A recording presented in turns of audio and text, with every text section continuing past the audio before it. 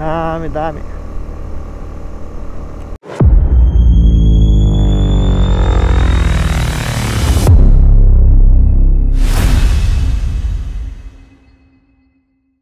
good morning from Marpha so आज चाहिँ हाम्रो डे फाइभ है। हामी मार्फामा बसेको थियौँ। सो हिजो चाहिँ पानी परेको भएर आज चाहिँ मौसम फुल अनखुल्ला छ। सो देख्न सक्नुहुन्छ यतापट्टि हिमालमा। हिउँ पनि परिरहेको छ है। माथि माथि चाहिँ हिउँ परिरहेको छ। हिजो चाहिँ दामी पानी पऱ्यो सो रमाइलो भयो हिजो। पानी परे पनि मजाले खाएर बस्यो होइन। सो एप्पल फार्म चाहिँ देख्न सक्नुहुन्छ यता भइहाल्यो है मार्फमा चाहिँ एप्पल फार्म चाहिँ यो भयो है। दामी छैन त कस्तो फ्रेस फ्रेस छ सबै दामी बबालै छ। अब हामी ब्रेकफास्ट गर्छौँ यहीँ माथि बोलाएर। अनि त्यसपछि चाहिँ यहाँबाट चाहिँ हामी पोखरा जानुपर्ने हुन्छ आज। पोखरा गएर अनि पोखरामा हामी दुई दिन जति बस्छौँ है त। सो अब ब्रेकफास्ट गरेर म तपाईँलाई गोप्रोमा भेट्छु है त। सो अहिले चाहिँ हामी मार्फाबाट निस्किँदैछौँ है। सो हामी चाहिँ बसेको होटेल चाहिँ hotel Marpha hotel Sonam and Marpha Thakali भन्ने थियो। सो तपाईँहरूलाई म यतापट्टि साइडमा फोटो राखिदिन्छु। सो यो चाहिँ मार्फाको गल्ली भइहाल्यो है। अब हामी यहाँबाट चिलपारामा जान्छौँ। सो अब हामी पोखरा जान्छौँ। सो बेनी हुँदै पोखरा गएर हामी दुई दिन जति बस्ने प्लान छ जुन अघि मैले तपाईँहरूलाई भनिहालेँ। अहिले चाहिँ हिजो हिजो चाहिँ यस्तो मस्त पानी परिरहेको थियो। सो आज चाहिँ मजाले घाम लगाइरहेको छ खुलेको छ मौसम पनि खुलेको छ। सो अलिकति त्यो भएर अलिकति ग्रिनरी पार्ट चाहिँ बेसी देखिरहेको छ।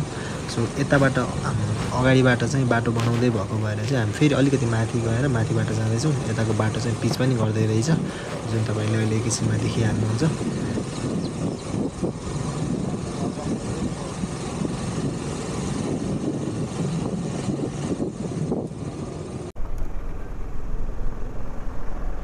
सो अब चाहिँ ठ्याक्क हामी माथिबाट आउने एउटा मार्फा छिर्ने गेट चाहिँ निस् त्यहाँबाट निस्किँदैछौँ।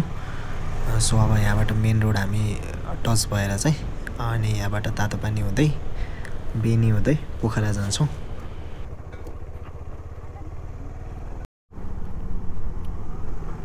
सो ल अब हामी चाहिँ मार्फाको जुन बजार छ मेन बजार अब त्यसलाई चाहिँ बाई बाई भन्दैछौँ। सो हामी फेरि नेक्स्ट टाइम आउनेछौँ है त। See you Marpha. बाटोमा चाहिँ अलिकति काम हुँदै रहेछ। यसो ठाउँ ठाउँमा यस्तो यस्तो कामहरू भइरहेछ। अब पानी पर्ने सिजन आयो नि त। अब माथिबाट ढुङ्गासुङ्गा खस्ने अब खोला पनि बढ्ने बेला भयो। अब खोलाको खोलालाई किनारा लाउनु पर्ने होइन? त्यस्तो त्यस्तो के के हुन्छ? त्यो भएर चाहिँ हाम्रो दाइले कस्तो उठेर चलाइदिनु भएको छ? नदेखेर होला त्यो।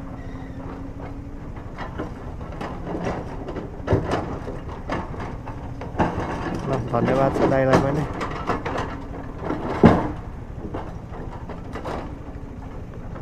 मेरो थर्टी किलोमिटर जति बाँकी छ सो बाटो चाहिँ कति ठाउँमा बिग्रेको छ कति ठाउँमा यस्तो छ।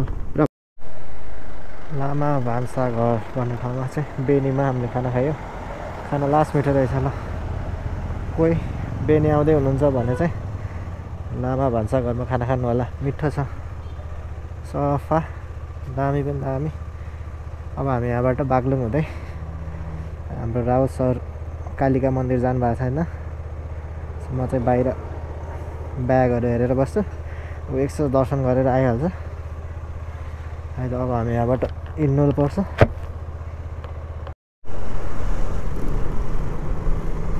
सो बाइकमा तेल पनि फुल हालिसकेको छौँ दुईजनाले नै।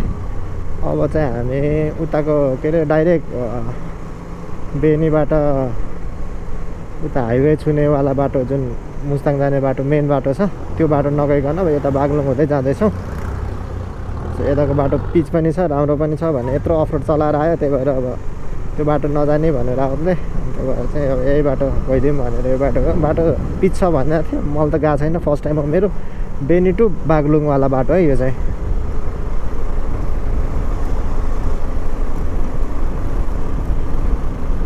सिधै मालढुङ्गा निस्किन्थ्यो। यो चाहिँ बागलुङ बजार हुँदै निस्किन्छ। त्यो बाटो देख्न सक्नुहुन्छ बाटो दामी छ है।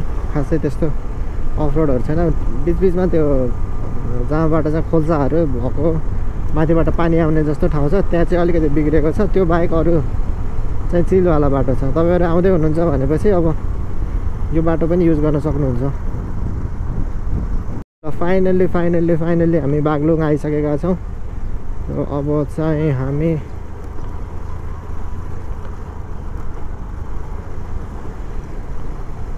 एकैछिन कालिका मन्दिरमा बस्छौँ। रावतले दर्शन गर्ने बेरसम्म।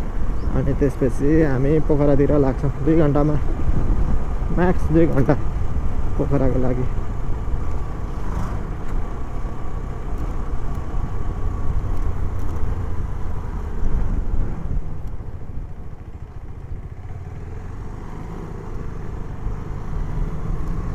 यो माथिबाट गयो भने चाहिँ बागलुङ बजार हुँदै जान्छ।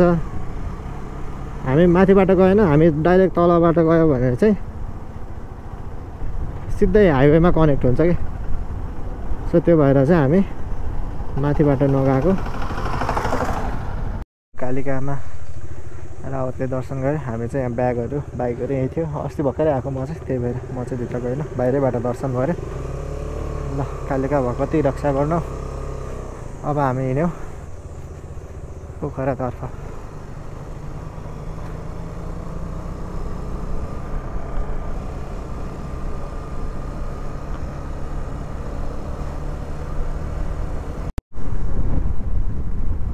ठ्याक्क हामी मालडुङ्गा आइपुग्यौँ यो चाहिँ बागलुङ प्रवेशद्वार भयो है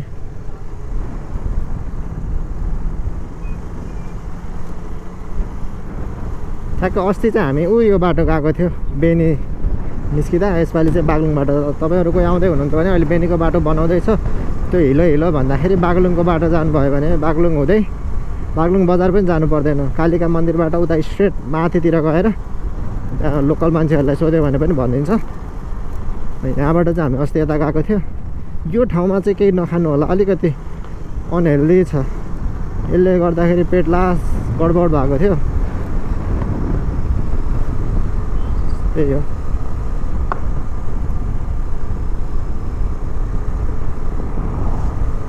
अब चाहिँ हामी पोखरातर्फ है त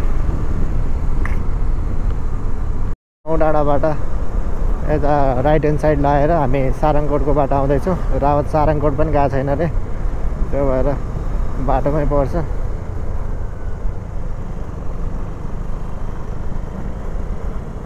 एक त्यहाँ बसेर चिसो खाएर अनि तल झर्नुपर्छ।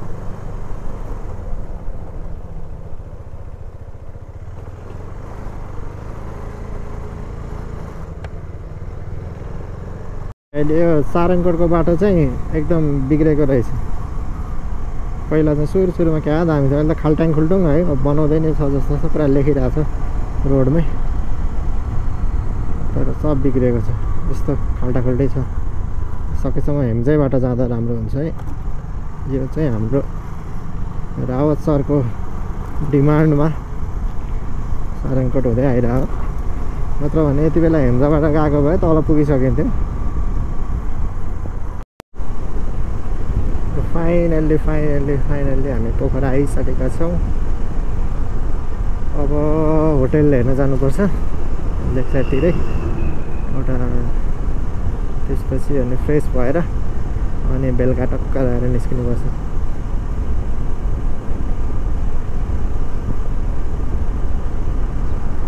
है त।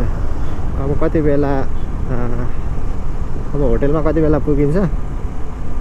म त्यति बेला देखाउँछु अनि होटेल चेक इन गरिसकेपछि फेरि भेट्छु है त। पोखरा आइयो गर्मी छ यार औडा गर्मी छ। सब च्याप च्यात्ती लगाइसक्यो कति बेला गएर खोलेर चेन्ज गरौँ भइसक्यो।